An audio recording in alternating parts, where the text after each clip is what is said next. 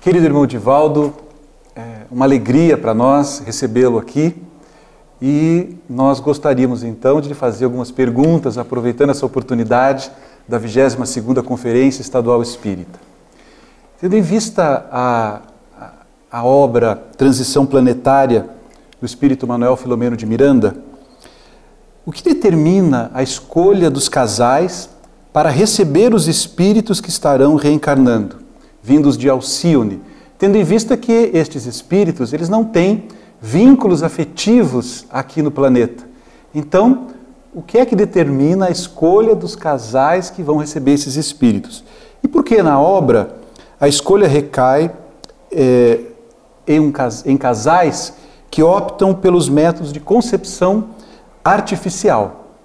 Então isso é muito curioso e nós gostaríamos de ouvir de ti Caros amigos telespectadores, muita paz. É para mim uma verdadeira bênção encontrar-me nesta vigésima terceira semana espírita, promovida pela Federação Espírita do Paraná. A obra Transição Planetária é uma síntese do pensamento dos bons espíritos a respeito do mundo de regeneração. E essas entidades de Alcione são adrede preparadas para promoverem o desenvolvimento orgânico e moral das criaturas humanas em nossa terra, no momento em que se transfere para o mundo de regeneração. Algumas entidades, milhões delas, ofereceram-se atendendo ao apelo do emissário de Jesus para virem modelar os novos corpos. Da mesma forma que no processo antropológico, o surgimento do neocórtex deu ao ser humano a possibilidade infinita de entender a beleza, a imaginação e a captação da vida transcendente, é necessário que o nosso corpo se adapte para receber as mentes das entidades evoluídas que se incorporarão, eles de uma outra onda vibratória com alguns terrícolas. Eis porque a fecundação é in vitro e não diretamente pela falta de identidade, de pensamento e de onda mental para proporcionar a criação dos novos biótipos que irão constituir a raça do futuro. Entre aqueles espíritos que eu tive a oportunidade de identificar e que já estão reencarnados na Terra, a forma física é absolutamente igual à nossa, mas há ligeiras diferenças entre o Homo sapiens e o Pithecanthropus erectus. Houve um grande salto agora do Homo sapiens sapiens para este homem virtual da imaginação, das ondas mentais, das comunicações telepáticas, uma modificação estrutural do cérebro e de outros órgãos para poder facilitar a vida distante dos sofrimentos que tipificam a humanidade terrestre. Eis porque se tem recorrido inicialmente a um processo artificial e não apenas e só fisiológico, para poder proporcionar esta construção do ser homem e mulher novos para o futuro. Com relação aos corpos, há uma referência de que alguns órgãos não seriam mais necessários no futuro. Nesse processo, já, já alguns deles são conhecidos? Você poderia nos dizer que tipo de órgãos nós poderíamos enfim, não mais ter no futuro? Segundo Manuel Filomeno de Miranda, o nosso trato digestivo seria aliviado. O intestino, por exemplo, seria um pouco menor. Também o estômago, porque a própria alimentação que nós iremos utilizar será menos brutal e menos artificial, como esta que nós temos utilizado na base de hormônios, desde as carnes variadas, que para aumentar a produção recebem altas doses de hormônios que são transferidos prejudicialmente para o nosso organismo, o futuro corpo, já não tendo necessidade de uma alimentação tão densa, já vem preparado para receber essa nutrição que será mais energética do que no volume de ordem material. O aparelho respiratório também seria aprimorado para poder dar maior versatilidade à criatura humana. E os sentidos habituais, os cinco sensoriais, seriam estimulados a abrir as portas do sexto sentido para a comunicação mais psíquica do que aquela verbal, gráfica ou oral. Que maravilha.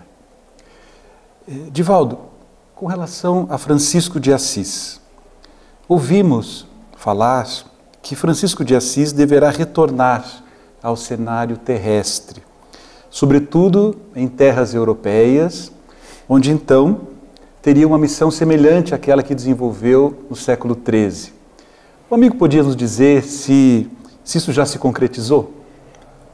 Os espíritos informam que a partir de, mil, de 2025, as reencarnações mais significativas se farão mais rápidas e mais numerosas. Até então, principalmente por causa da alta incidência da depressão, que atingirá o seu clímax mais ou menos na próxima década, ou na década que iniciamos, pelos anos 24 a 26, com uma grande incidência de suicídios, que eles acreditam será a primeira causa mortes, face aos transtornos emocionais, depressivos e outros conjunturais dos relacionamentos humanos. Então, penso eu que a partir dos anos 30, espíritos do porte de Francisco estarão reencarnando-se para naturalmente, por volta de 45, fazerem-se identificar como os grandes gênios da nova era. Que maravilha!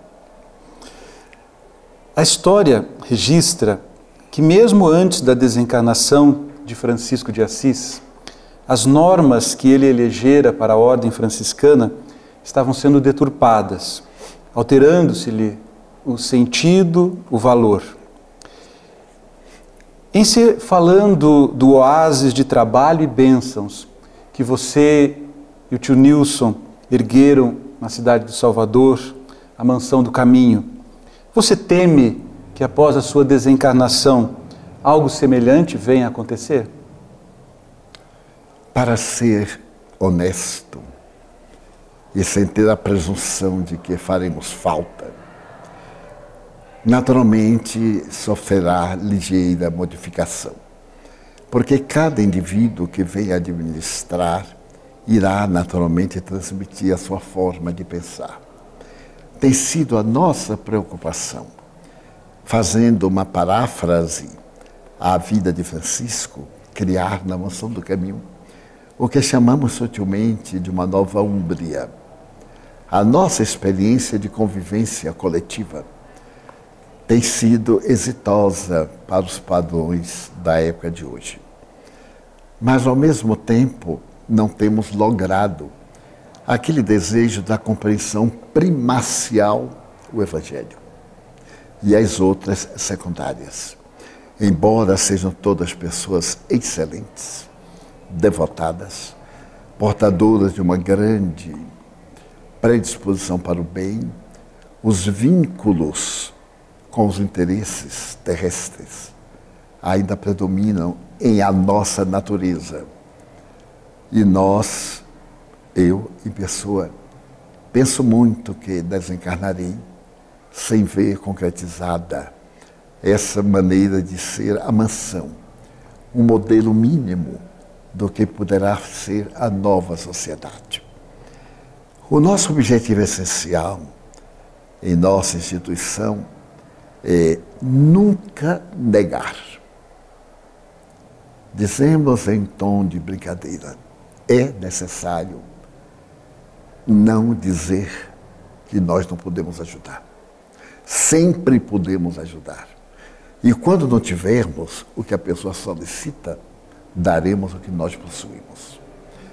Abordaremos a questão do Evangelho, transmitiremos energias através de passes, levaremos as atividades espirituais e contribuiremos com os recursos materiais que para nós são importantes, porém nessa faixa parte secundária.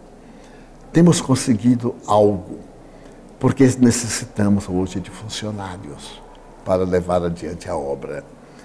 E como eles não têm o espírito da obra em si mesmo, temos algumas dificuldades em fazê-los entender que a nossa instituição é uma empresa.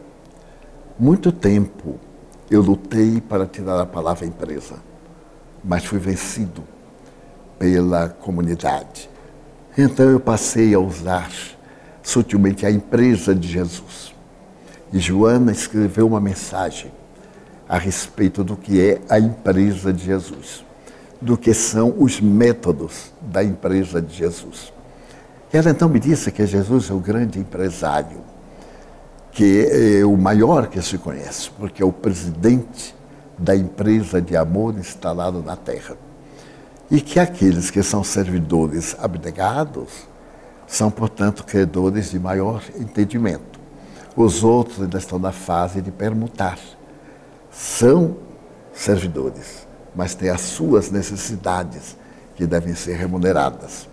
Mas que chegaremos ao momento de que essa empresa de Jesus será totalmente diversa.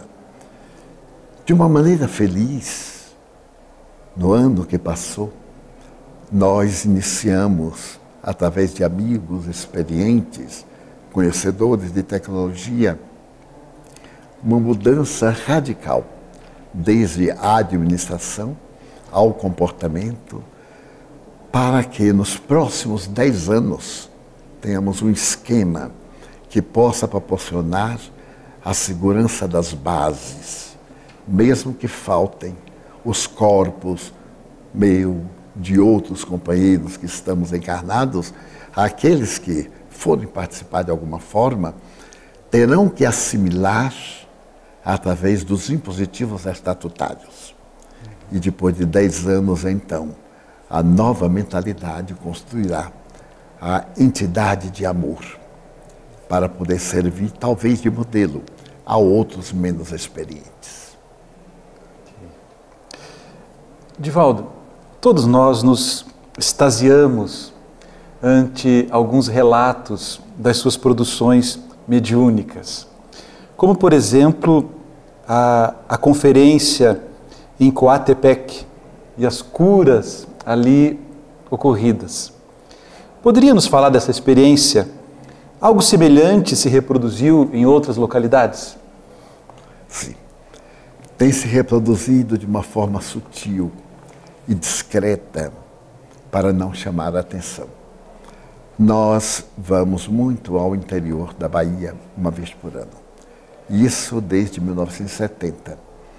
E é uma região muito difícil de acesso. Só há pouco tempo chegou a tecnologia, chegaram estradas, porque ela fica entre a cidade do Salvador e Brasília.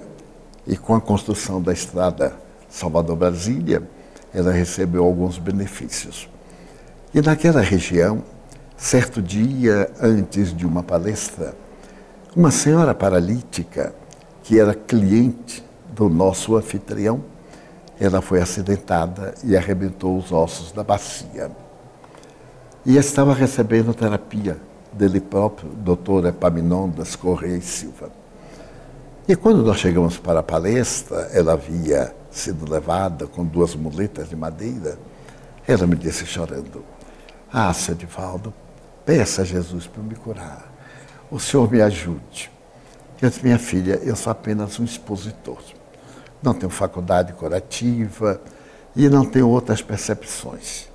Então eu vi o Espírito de Joana Dias dizer: quando for na hora da prece final, que ela se vinculasse mentalmente, porque Joana ia pedir aos benfeitores para ajudá-la. Eu proferi a palestra e me esqueci. Mas quando eu cheguei na hora da oração da gratidão, que é sempre variada, eu recordei-me e olhei para ela. Ela estava sendo dobrada em profunda concentração. E eu fui continuando a oração. Quando eu cheguei na parte que agradecia a bênção das pernas para poder andar, ante aqueles que são paralíticos, etc., ela derrubou as muletas, levantou-se com muita serenidade, oscilou um pouco, fez a volta e saiu. Eu fiquei surpreso. Mas as pessoas que a conhecem notaram também. Terminada a reunião, o esposo veio com ela e ela disse: Edivaldo, eu fiquei boa, absolutamente boa. Eu não andava, mesmo com a ajuda das muletas e as muletas são deixadas aí. Então eu depois é ver como Deus é misericordioso e fiquei impressionado. O doutor Epaminondas levou-a no dia seguinte ao hospital para fazer radiografias e fez uma série para comparar com aquelas que ele tem no prontuário. Todos os ossos antes em processo de reconstrução estavam corrigidos com alguns calos, como se eles fossem unidos e tivesse uma imperfeição. Então, um amigo nosso, Washington Fernandes, ele tem sido gentil, escreve a meu respeito, é um advogado brilhante do estado de São Paulo. Ele resolveu ir fazer a pesquisa e documentar. E constatou que realmente houve uma mudança muito grande nos processos de recuperação dos ossos. E a partir daí, todos quantos me pedem, ah, estou doente, na hora da prece, os guias vão me ajudar. Tem ocorrido algumas curas que nós silenciamos e deixamos que aconteça pelo merecimento do próprio paciente. E eu tenho muita preocupação com isso, para não cair no lado mágico, místico Sim. e fanático Sim. e deixar a parte doutrinária no segundo plano. Ok, obrigado. Divaldo, e, você? Nós sabemos das tuas dores, né, das dores que tem, o tem acometido nesses últimos tempos. E há sempre uma curiosidade se durante as atividades essas dores permanecem, desaparecem, como, como estão? Adriano, é algo que a mim me surpreende. Se eu pudesse, ficaria o tempo inteiro nas atitudes espíritas, porque todas as dores e sensações de mal-estar desaparecem por milagre. Eu mesmo fico suspeitando, meu Deus, será que isso é uma fixação neurótica? É um transtorno de autossugestão? Porque tem vezes que eu estou tão mal, pela manhã principalmente, sem poder levantar-me, que eu me atiro ao chão para pegar o remédio a dois passos. E quando alguém vai me visitar, sempre é meu filho Otaviano, eu peço para ele me ajudar a levantar, porque eu não tenho forças. E as dores são muito grandes. Outras vezes eu peço ao Juan para que ele me aplique o método Aliana. É o único que me faz dormir, sem remédio. Mas o curioso é que nessas ações espirituais, algo ocorre que o meu organismo muda. Faz anos eu tive um infarto do miocárdio e uma morte aparente, uma quase morte. E fiquei com uma deficiência cardíaca. Ainda nos fazia o transplante. Estavam fazendo as primeiras experiências na África do Sul. Mais tarde, bem mais tarde, digamos que há quatro anos, eu tive necessidade de fazer uma pequena cirurgia. E amigos me levaram a um hospital de renome no Brasil, que é uma referência internacional. Apresentaram-me ao seu cardiologista, que é um homem de representação internacional. Ele me submeteu a todos os exames, as coisas. Eu estava com muita taquicardia. E depois, quando ele fez os estudos, algo aconteceu com as artérias cardíacas. Porque a razão do meu infarto, da minha parada cardíaca, é que eu tinha uma artéria com 95% problematizada, a outra com 75% e a terceira com 60%. E naquela época o cardiologista disse, é impossível estar vivo. E eu não sentia nada. Mas então agora o médico disse, notei uma coisa estranha. Eu já atendia muito mais de 5 mil pacientes. E o seu organismo fez algo que é a primeira vez que eu vejo. Eu perguntei, mas doutor, não estou entendendo. Ele disse, a irrigação do coração continua perfeita. Porque uma veia fez uma curva para nutrir o coração e você está tendo nesta veia o que seria a artéria que produz a sua sensação, porque a artéria continua bloqueada. No entanto, de, da forma cardiológica, você está muito bem, aos 88 anos na época. Quando eu completei 90 anos, porque qualquer atividade médica que eu for a esse hospital, sou submetido logo ao eletrocardiograma por causa da idade, quando os bloqueios das hérnias. E ele examina e diz: Olha, você tem um coração excelente para uma vida longa. E um dia ele me perguntou: Como é que você explicaria isto? Tratando-se de um homem materialista, eu pensava, então eu expliquei que os bons espíritos me levantaram do leito, que eu estava desenganado, tinha, digamos, no máximo 40 dias de vida, e lentamente eu me recuperei tomando apenas vasodilatador, isordil. Mas isso somente é um paliativo. Dilata a artéria para passar o sangue, mas não resolve o problema. E então eu expliquei que eu acho que os espíritos devem ter feito alguma coisa para poder me proporcionar a oportunidade de continuar trabalhando.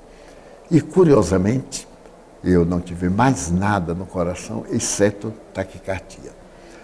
Há dois anos e meio, mais ou menos, eu estava em Miami, na residência de um querido amigo espírita, e estava a taquicardia tão forte que eu estava tendo dificuldade respiratória.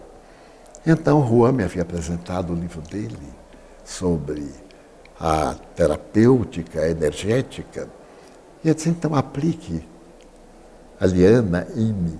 E ele aplicou. É um método de transmissão vibratória. E eu fiquei um ano sem taquicardia. Eu não sou uma pessoa impressionável. A própria vida me ensinou a ser cauteloso. No fim do ano passado, mais ou menos em outubro, eu tive assim, muitas emoções, muitas preocupações, como é natural, algumas dificuldades, alguns desafios, e a taquicardia voltou. Então um dia eu pedi para ele me aplicar novamente a Digolerron. Voltou a taquicardia. Ele aplicou, orando naturalmente, eu fiquei absolutamente bem.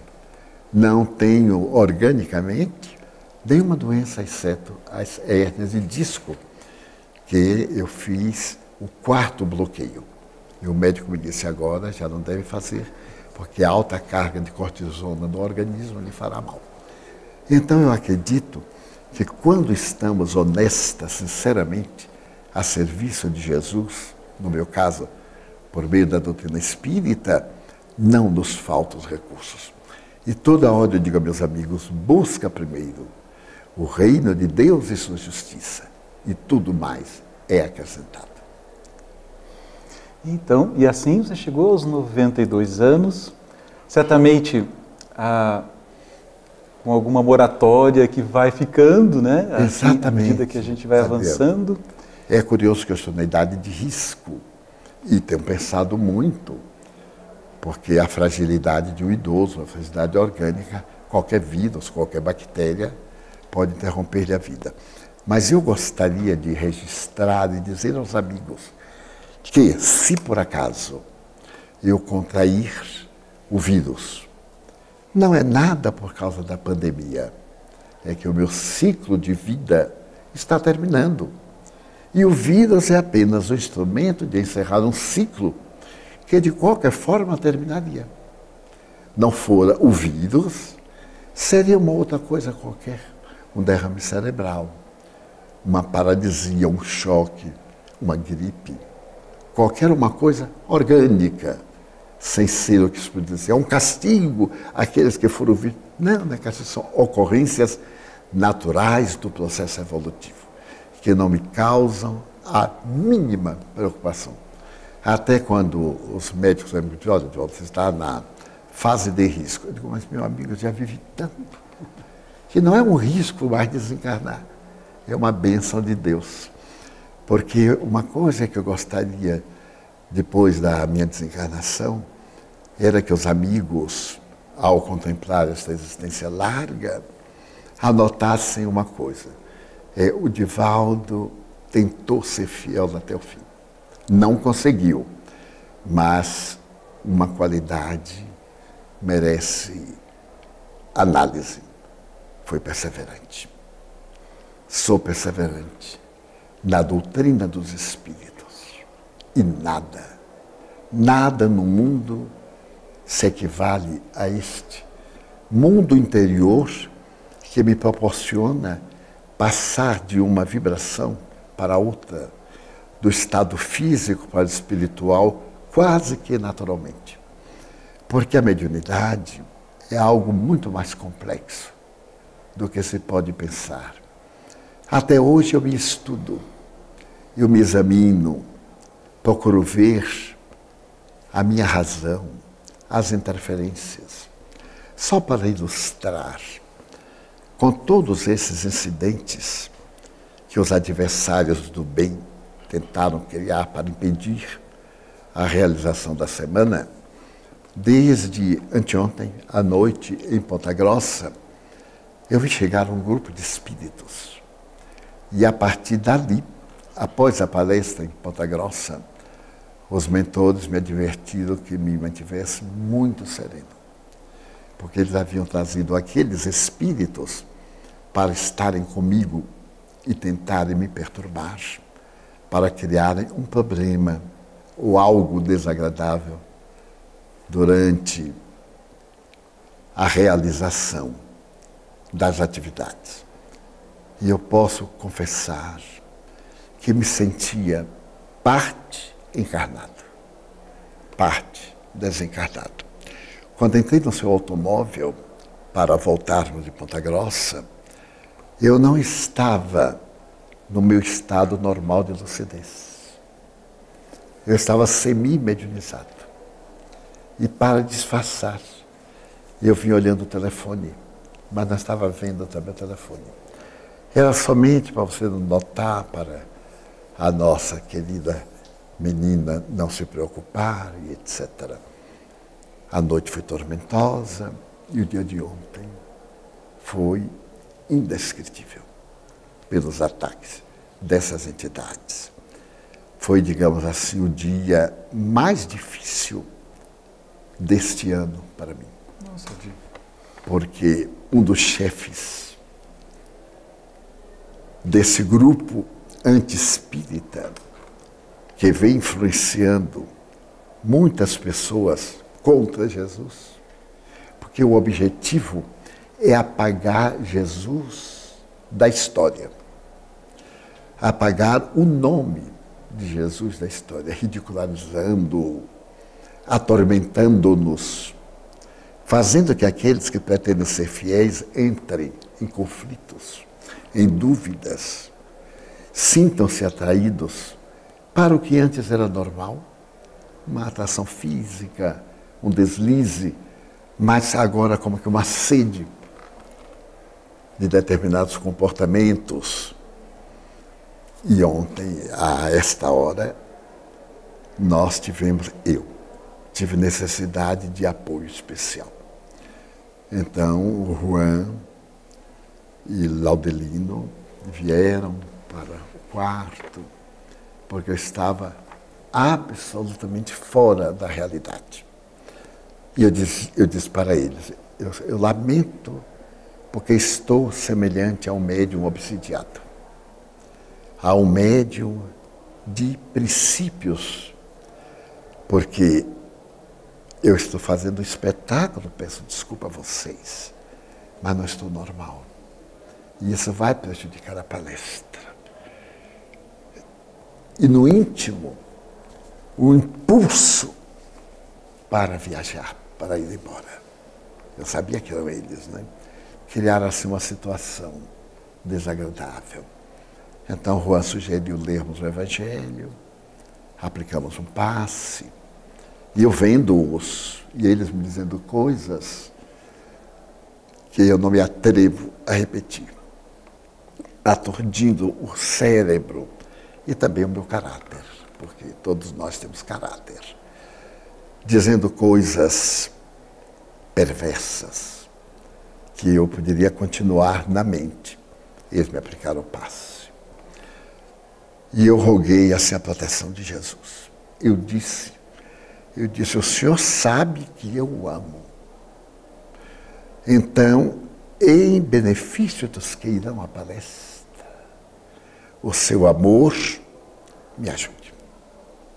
E eu vi, quando entraram as entidades venerandas, eu vi uma entidade que é protetora da Federação Espírita do Paraná, mas que não é conhecida.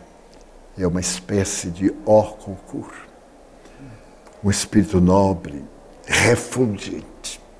Quando ele entrou assim pela parede, aquele, o que o povo chama de esplendor, encheu o quarto. Ele me pôs a mão assim no coração, depois aqui no centro cerebral, e me disse: Vamos com Cristo. O cristão verdadeiro tem que ter o holocausto. Vamos para o holocausto nós vamos incorporá-lo, utilizá-lo da aparelhagem, mas os seus conceitos não nos coloque para não nos atrapalhar. Faça as suas narrações, mas nós vamos encaminhar. E então eles vieram. E esse espírito veio realmente comigo. Mas eu não via sempre o espírito, eu via um foco. Eu caminhava paralelamente, o foco também, mas eu não disse eu não gosto muito de ficar falando sobre mediunidade, para não parecer exibicionismo. Aprendi a calar. E na hora em que você começou a falar, ele se acercou e lhe deu uma assistência especial para poder dulcificar o coração e apaziguar o seu organismo. É como se o organismo estivesse um pouco trêmulo e desajustado. Na hora que você falou sobre o coronavírus, então eu vi perfeitamente quando ele encaixou a cabeça dele na sua cabeça. E aquilo saiu tão claro como se fosse médico. Era como se estivesse explicando o beabá. Simples e com muita energia. E no momento, que afinal foi um momento sublime, o coral criou esse clima através de uma apresentação de altíssimo significado musical, porque foram músicas especiais, difíceis, coroadas pelo Pai Nosso, que atraiu muitos africanos e indígenas. Então as pessoas moviam o corpo no ritmo, mas os espíritos bailavam ao ritmo do Pai Nosso. Então aí eu me senti perfeitamente normal, toda a minha estrutura, como se eu tivesse 20 anos. Eu estava com muito, com muito catarro, que eu tenho essa problemática desde há 60 anos. E então o Espírito começou a me delinear a palestra e disse: a paz tem que ser o amor no seu estado de santificação. E aí veio num crescendo. E as últimas palavras, eu ainda me lembro quando digo assim: somente o amor ali foi incorporado. Até a parte final, quando ia terminando, ele me cedeu lugar para a prece. O que quero dizer? É que nós estamos em guerra com o mundo espiritual. Guerra esta desde abril, dia 4 de abril de 2004, quando muçulmanos e judeus perseguidos declararam acabar com a figura de Jesus na terra. E, naturalmente, atacar-nos a nós, as espíritas. E eu perguntei, mas por que nós, os espíritas? E um rabino me disse, porque são os cristãos. Eu digo, não. Mas o cristianismo tem dois mil anos, não, senhor. O cristianismo real vai até mais ou menos o Edito de Milão, 313, e aí surge, eu peço licença, sem querer diminuir outra doutrina. Surgiu uma doutrina em nome do cristianismo, porém romana. Observe que é Igreja Católica Universal Apostólica de Pedro e Paulo Romana. Não é a igreja tal, tal, tal cristã. Era uma igreja de Roma, uma espécie de paganismo monoteísta. E com o advento do Espiritismo, renasce Jesus. E os senhores são cristãos. E o Espírito me disse ainda assim: quando o senhor Allan Kardec falou que a mediunidade deveria ser exercida cristamente, ele rotulou o Espiritismo de cristão. Porque ele poderia dizer moralmente, no sentido ético, mas ele encontrou a única palavra que podia definir o exercício da mediunidade. Então nós temos que combater. Porque foi essa igreja de Roma que nos destruiu. Graças a ele. Então nós agora nos voltamos contra ele através dos senhores, que são os herdeiros dele. Embora vamos atingir todos os povos e nações. E observe que de 2004 para cá, o desrespeito moral, social, se tornou cada vez mais vulgar. E os partidos políticos, religiosos, convidando a degradação dos costumes e a perda do sentido ético, multiplicaram-se porque eles estão sob a mentalização dessas entidades. E nós temos sofrido um pouco mais, porque somos criaturas humanas e eles se voltam contra, eles se voltam contra o cristianismo nas páginas do espiritismo.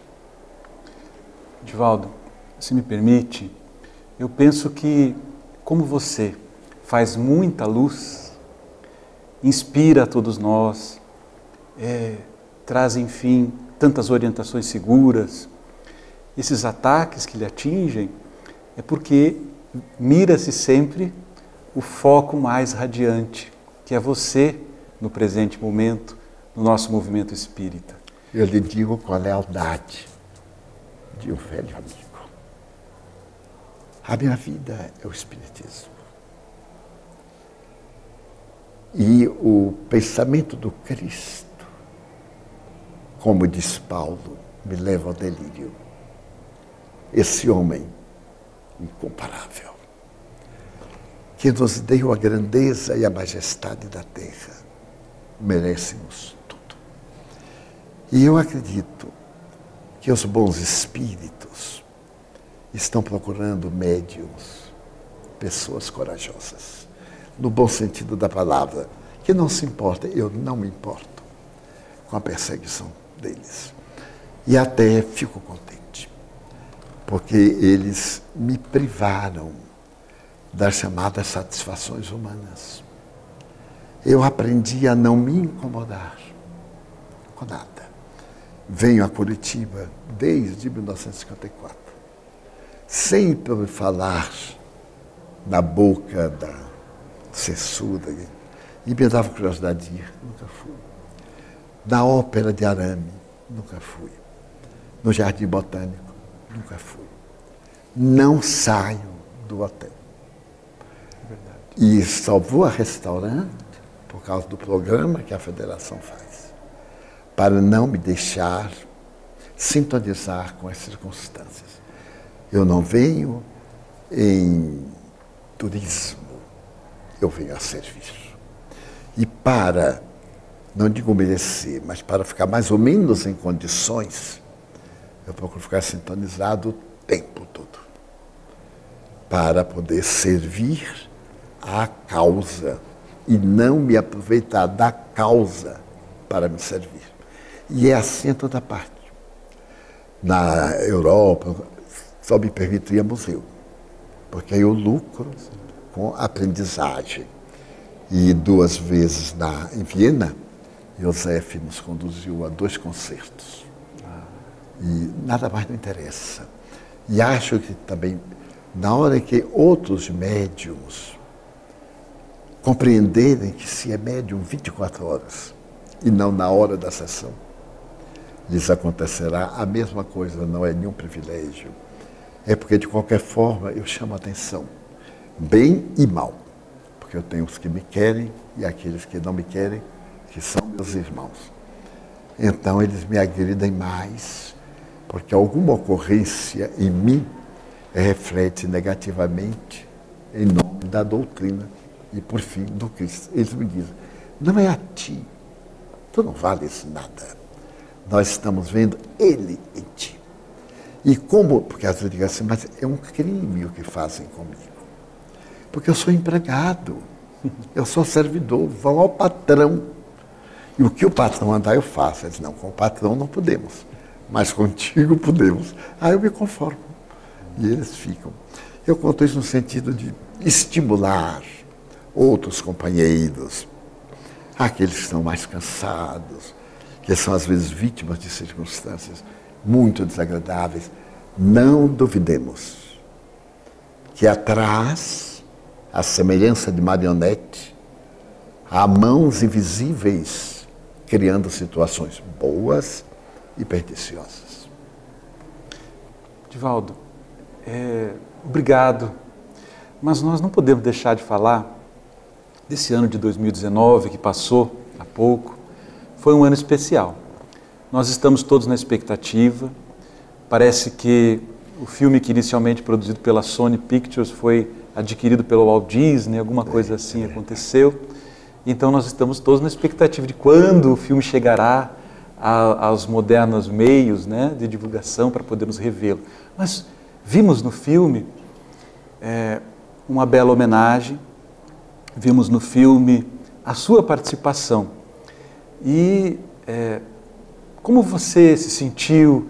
Você teve uma participação ali em algum momento? Como foi essa experiência do filme sobre a sua vida? Eu confesso que tive vergonha. Vergonha de me ver no lugar que outros merecem. Esse filme eu venho impedindo há 10 anos. Começou com a moça de Natal, desejando fazer um filme sobre Joana e sua obra literária, num confronto com Juan Inês de la Cruz. E eu a impedi que deixasse eu desencarnar, etc. A coisa foi evoluindo, até que o pessoal de Fortaleza, que tem lá um trabalho muito bom de cinematografia, se envolveu. E então, uma pessoa da IP a que eu tenho altíssima consideração, se envolveu também em contribuir financeiramente para que o filme fosse pronto.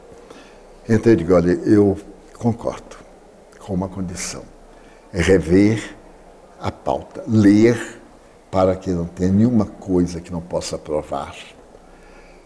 Tudo que tiver aí eu tenho que mostrar testemunhas para honrar o nome do Espiritismo. Que não me faça nenhum elogio que o filme não seja eu, seja uma mensagem de que qualquer um de nós pode fazer qualquer coisa em favor do bem. E então nós revisamos quatro vezes. Mudamos os nomes. O fato é verdadeiro e os nomes foram alterados. Até que eu pedi a Valdir Júnior, da IP, ele é presidente da entidade também é um homem de altos negócios em São Paulo, para que ele verificasse, já que ele me quer bem, de uma forma neutra, em que eu quase não aparecesse, aparecesse a proposta espírita, confortando as pessoas, encorajando. Aí ele me disse, pode ficar tranquilo. E aí eu permiti que fizesse. Conheci o Clóvis, este homem que era o diretor, era materialista. Depois que ele leu o filme, que ele viu o rodeiro, ele leu o livro dos Espíritos. E sentiu uma onda mística que o levou a Assis. Ficou em Assis uma semana, meditando, convertendo-se, sentindo a vida imortal. E então mudou de paisagem. E então, ao contratar todo o elenco, constava uma cláusula que todo o elenco lesse o livro dos Espíritos. O elenco leu o livro dos Espíritos. E lesse a biografia que Ana Land havia escrito, com a minha autorização, onde estavam os fatos que eles apresentaram, conforme o cinema permite. Mas no dia da avant-première em Salvador, eu me senti assim tão constrangido. Mas eu senti como, não sendo homenagem, mas um testemunho. Primeiro, por causa da maledicência. Eu não receio, eu, mas eu quero poupar os outros, que eu estava tentando competir com o Chico Xavier, como alguns amigos escrevem. Eu digo, ai meu Deus. Aí eu fiquei muito feliz agora quando saiu o Arigó, generalizou. Depois, porque eu sei que tudo tem um preço. E a minha vida é muito curiosa. Eu tenho uma imensa alegria quando estou no auge da alegria. Me acontece algo para voltar ao normal. Os meus conflitos, as minhas necessidades emocionais, a minha solidão. Então acontece, eu tenho que sempre estar. Vai e volta. Mas a mensagem do filme depois eu fui assistir como crítico. Não tem uma cena que não tenha realmente acontecido. Eles foram muito felizes e a, o personagem Joana foi a própria Joana que escolheu, porque ele mandou fotografia. Eu não, nunca assisti uma novela, nunca. Um capítulo, nunca assisti. Então mandou várias fotografias para eu ver quem pareceria mais com Joana, quando ela começou. E eu fui olhando as fotos e Joana disse: Eu gostaria muito que essa senhora me representasse. Então eu disse: Olha, essa senhora, Joana, acha que está muito bem para o papel dela. E depois, uma outra foto, Joana disse: Vamos colocar Ana, minha mãe. Esta moça tem um caráter parecido com Diana. Então, aquela senhora que fez o papel de minha mãe foi apontado por Joana. O mais eu não envolvi. Ele me convidou para fazer uma cena, eu fui fazer a cena, que não foi posta no filme. Ali está um resumo, mas tem muito mais coisas. E aí eu assisti o filme, fiquei meio constrangido, mas superei. Como se fosse de outra pessoa. E fui também à Van Premiere em São Paulo e o governador do estado foi. Aliás, não surpreendeu, foi ele e a senhora. Sem guarda, sem nada, bem simples. Foram lá ao restaurante, foram ao cinema. Eu fiquei surpreso. E no íntimo eu gostei. Porque muita gente assim, eu me comovi até as lágrimas. Mais de mil pessoas me disseram isso. Olha, eu gostei tanto do filme, me falou o coração. Era o que eu desejava. A mensagem. Que eu fosse apenas como um dia um obsessor disse, tu és o trompete. Se não tiver quem sopre, tu não vales nada. Então o trompete foi soprado para confortar as almas. É quase uma confissão que estou fazendo, é uma entrevista, né? Pelo amor que eu tenho à Federação do Paraná e a você. Querido Divaldo, nós queremos te agradecer. Puderam, pudéramos ficar aqui né, mais tempo mas a gente sabe que você tem compromissos logo mais com a conferência. Então nós queremos registrar a nossa gratidão em nome do Departamento de Comunicação Social Espírita da Federação Espírita do Paraná por essa oportunidade que você teve de estar aqui conosco e que nós desejamos que você tenha ainda longa vida. Aliás, você terá longa vida, nós aprendemos isso. Aqui ou do lado de lá, você estará sempre conosco, a gente sabe. Eu agradeço muito a Adriano, porque eu tenho um carinho muito especial pela Federação Espírita do Paraná. Desde o primeiro dia, quando eu conheci o Paraná, eu entrei num mundo diferente. Primeiro o mundo físico, depois culturalmente. As pessoas que conheci e convivi, todas muito inteligentes, lúcidas. E depois, as, sem demérito para qualquer instituição, a seriedade da federação, o seu amor à causa, a doutrina conforme nós recebemos de Allan Kardec e dos seus continuadores. O respeito com que os bons espíritos me falam a respeito da federação, me falam sobre todas, com muito amor, mas eu quero particularizar pessoalmente. Daí eu tenho um carinho muito grande. E agora, assim, no declínio, ao falar com você, que eu considero um filho, um rapaz que dedicou a sua vida a esta obra, eu agradeço. E depois da minha desencarnação, que você seja assim, uma das testemunhas, assim, olha, o mérito ou o demérito do Di é que ele era persistente e lutador. Nada me afasta do amor do Cristo e dos meus amigos, aqueles a quem eu amo. São muitos, é uma família imensa à qual eu sou devedor. Esses amigos de Porto Alegre, Novo Hamburgo e de outras cidades do Sul, que fazem sacrifício de milhares de quilômetros para divulgar a mensagem. De alguma forma também por amor a mim. Eu compreendo. Essas moças, viagens de dois dias e noites, e me fico feliz porque eles estão sendo cristãos primitivos, fazendo o novo mundo que o Cristo espera de nós. Muito obrigado. Nós vamos encerrar com um aperto de mãos. Muito obrigado. Muito obrigado. Muito obrigado.